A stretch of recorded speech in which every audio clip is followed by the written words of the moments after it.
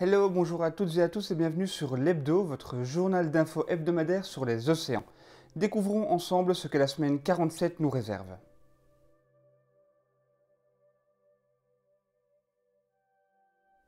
Pour les défenseurs de la vie marine, dont Sea Human fait bien évidemment partie, c'est un très mauvais signal que vient d'adresser la Commission de la pêche du Parlement européen. Celle-ci, réunie le mardi 21 novembre, s'est prononcée par 23 voix contre 3 en faveur d'un développement de la pêche électrique. Nous vous en parlions il y a quelques semaines, cette pratique consiste à envoyer des décharges dans le sédiment afin de capturer plus facilement les poissons plats qui y sont enfouis. À cette fin sont utilisés des chaluts à perche, c'est-à-dire des filets fixés à une armature rigide et lestée pour racler les fonds dont les chaînes sont remplacées à ce moment-là par des électrodes.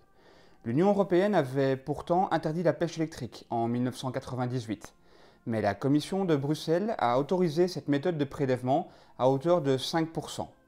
Or, l'association Bloom, qui avait déjà porté plainte contre les Pays-Bas, dénonce que 28% de la flotte des chalutiers néerlandais a déjà été équipée. Une nouvelle preuve de l'impact des lobbies sur les membres de la Commission européenne. Fin de trêve pour le thon rouge. Il va à nouveau être soumis à une pêche beaucoup plus intensive. Les quotas qui le concernent vont être fortement revus à la hausse.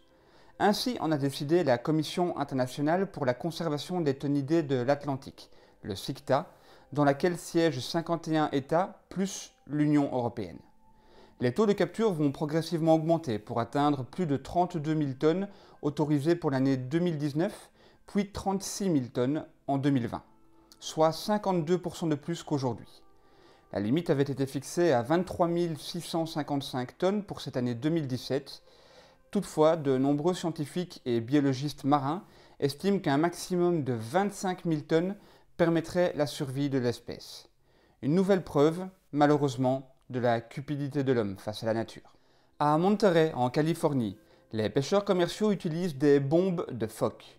Ces explosifs, comparables à de petits bâtons de dynamite, effraient les phoques et les otaries qui pourraient attaquer les filets de pêche. Mais ces explosifs peuvent également effrayer et même blesser d'autres espèces animales, et plus particulièrement les baleines. Le plus effrayant est que tout cela est légal aux États-Unis. Nous nous demandons toujours quand est-ce que la bêtise humaine et la cupidité s'arrêtera? Il y a quelques semaines, nous vous faisions part de la motivation du Royaume-Uni de bannir le plastique de l'usage quotidien des ménages. Eh bien, nous apprenions mercredi, via le chancelier Philip Hammond, que le gouvernement anglais réfléchissait à la mise en place d'une taxe sur les plastiques à usage unique, afin de lutter contre la pollution des océans.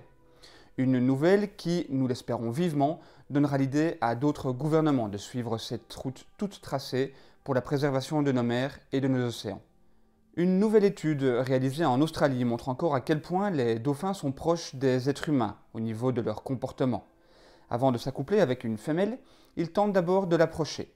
Et pour cela, ils recourent à des techniques particulièrement évoluées. C'est en tout cas ce qui ressort d'une étude publiée dans le journal anglais Scientific Reports. Les quatre chercheurs auteurs de l'étude se sont penchés sur les dauphins en Australie pendant dix ans et ont remarqué à plusieurs reprises que les dauphins mâles ramenaient des cadeaux à leur flirt.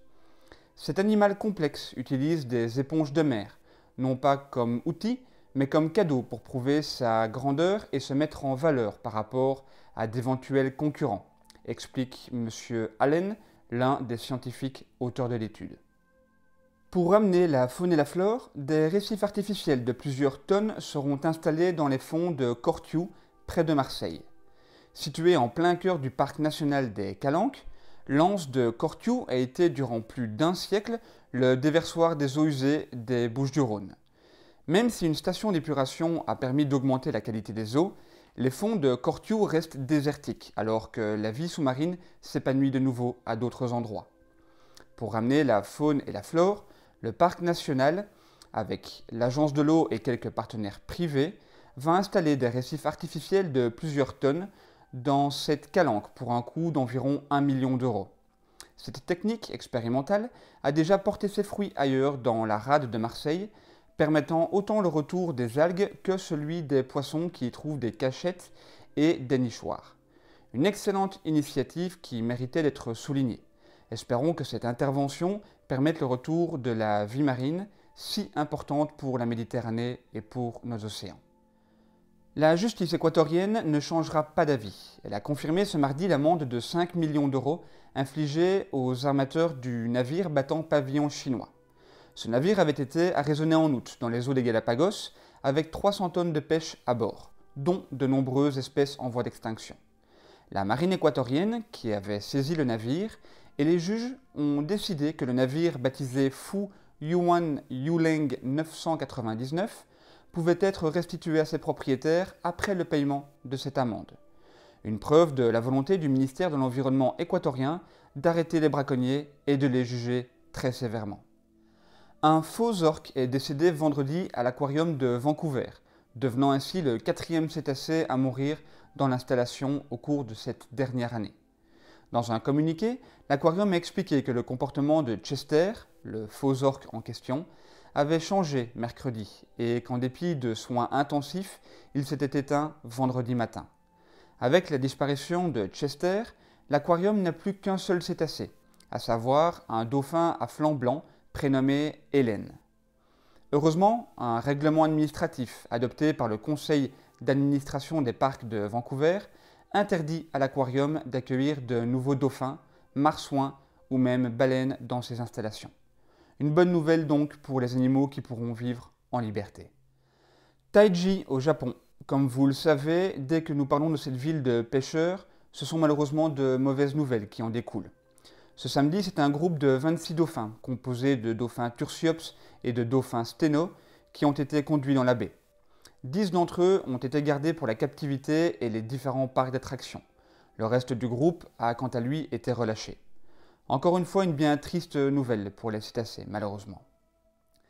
Terminons cet hebdo avec une nouvelle un peu plus réjouissante. Le gouvernement du Mexique vient de créer la plus grande réserve marine d'Amérique du Nord, autour d'un archipel du Pacifique considéré comme étant l'un de ses joyaux. Les mesures prises aideront à assurer la conservation des créatures marines, y compris les baleines, les grandes raies et les tortues. La zone de protection s'étend sur 150 000 km autour des îles Revillagigedo, situées à environ 390 km au sud-ouest de la péninsule de Baja California. Le président du Mexique, Enrique Peña, a annoncé la décision dans un décret qui interdit également l'exploitation minière et la construction de nouveaux hôtels sur ces îles.